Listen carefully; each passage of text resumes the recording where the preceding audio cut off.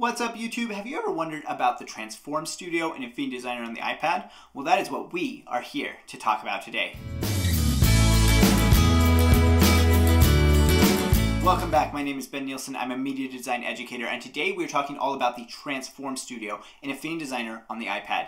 We've been working our way through all of the studios in Affinity Designer on the iPad, and we are almost to the end. So today we're talking about the Transform Studio, but if you're interested in the other studios, go ahead and make sure that you check out the Intro to Affinity Designer playlist right here.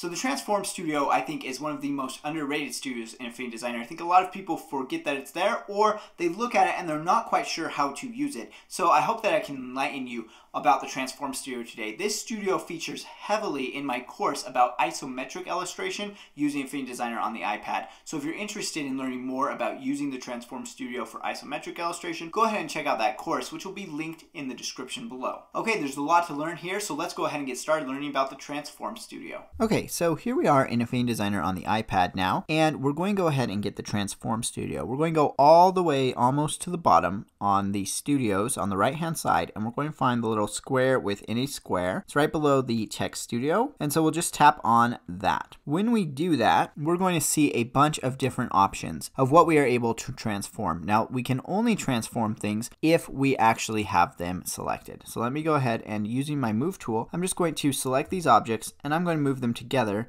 to illustrate the first options that we have in the Transform Studio. The first options that we have are order options, and these should be pretty familiar to anyone who's worked with different design programs. If you've worked with something like Illustrator or PowerPoint or almost anything, there's always a stacking order. Let's say I wanted this speech bubble to be all the way to the back. I'm just going to select this first option, which is to move it all the way to the back. So it moves behind everything else. And we can see this on the Layer Studio. If we go to Layer Studio, we can now see that the callout is actually on the bottom. So all we're doing is we're just changing the layer order, which we could do from the layer studio, but we can also do it from the transform studio. Now, of course, we can also move it all the way to the front, which is the one on the far right. That brings it back to where it was. And then the other two options are to move one back and to move one forward. So that just moves it one thing forward, and it only moves it one thing forward in the layers stack, not necessarily if it's overlapping. So if, for example, if I drag my yellow one out here, and then I go to my speech bubble, go back to my Transform Studio, and I say I want to move one back doesn't look like anything happened. It did change. If we go to the layer studio, we can see it's now behind the yellow one, but the yellow one isn't overlapping it, so we can't see. So I would have to hit go back again to get it all the way behind the purple one. So that's how you can have some control. Depending on what you're doing, it may be easier to use these controls, or it may be easier to actually use the controls within the layer panel. Okay, let's bring this to the front again. And then we have our flip and rotate options. So these are ones that you use all the time as a designer. So we can rotate, and you can see it's just rotating by 90 degrees. And you can do it forwards or you can do it backwards. And then there are the flip options. We can either flip along the vertical axis or we can flip along the horizontal axis. So as you can see, these are tools that you use a lot. So you'll want to be really familiar with getting in here to the Transform Studio and using those tools. A lot of times you can also do the same thing just using the Move tool. You can grab the Rotate tool here you can do a lot of different things just with the move tool, but you can get more precise when using the transform tool. Here we have the dimensions, and these dimensions actually control the actual width and height of the bounding box of the object. So if I want to make it bigger, I can drag on this, and you can see these are currently linked together because this lock has a circle around it. If I unlock that and then adjust the height, I can adjust the height independent. So you may sometimes want things locked and sometimes want them unlocked. You just want to make sure that you know whether that lock is on or not. So that's width and height, which you can of course control also with the move tool just by dragging from the handles.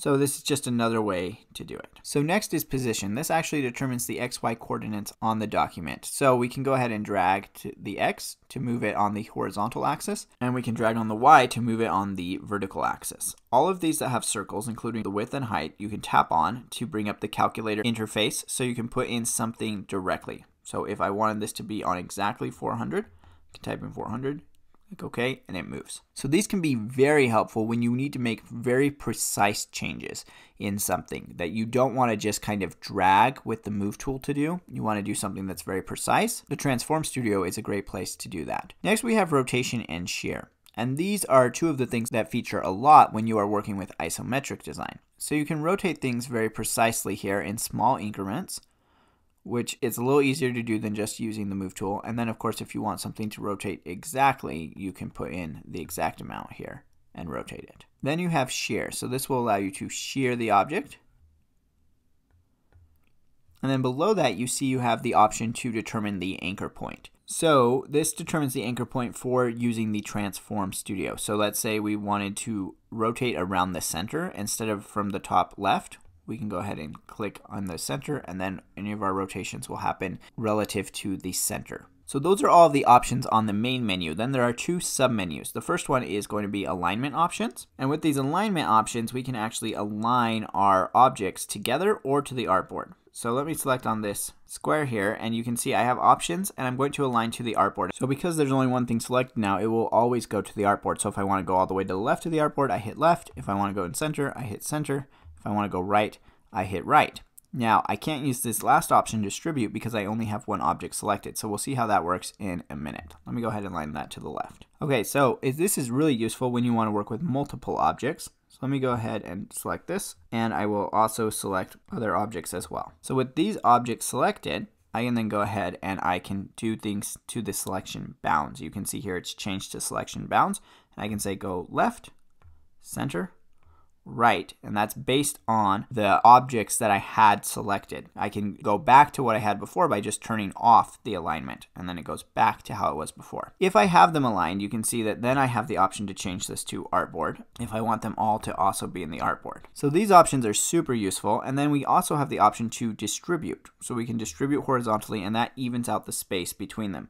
This is easiest to see if there's some more space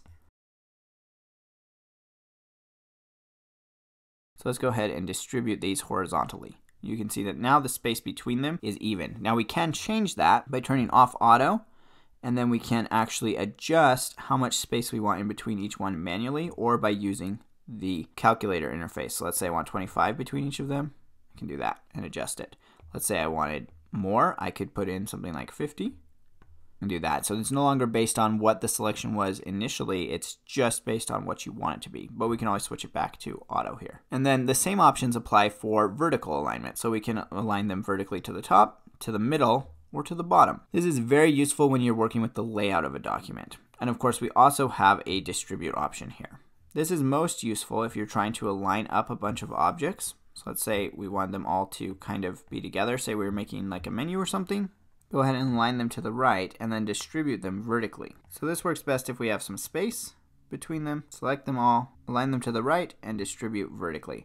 And then you know that that space between them is always going to be the same. And of course, we have the option to have this be auto, or we can control it ourselves as well. So very, very useful in layout design. You'll use this all the time, I think. I actually wish it were a little less buried than it is. I kind of wish it were its own studio instead of being within the Transform Studio. Okay, lastly, there is this constraints menu. And the constraints menu is really intended for people working in like UI and UX design. It allows you to pin objects into certain places. So if you have multiple artboards representing different sizes sizes of screens, then you can pin things in certain places so that they adjust accordingly.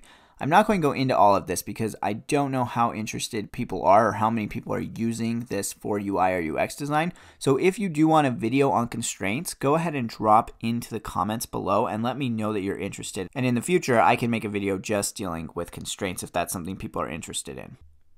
And that basically sums up the Transform Studio. It's pretty straightforward because these are all things that you can do with other tools as well, but it's very, very useful to have this kind of precision when you are designing. All right, I hope you found this helpful to learn more about how to use all of these features in the Transform Studio. Like I said at the beginning, it's a really powerful studio that you can use to do a lot of things. If you have any questions, go ahead and drop those in the comments below, as well as if you have any comments or other things that you would like to see from this channel. Don't forget to check out my courses. We'll chat in the comments, and I will see you in the next video.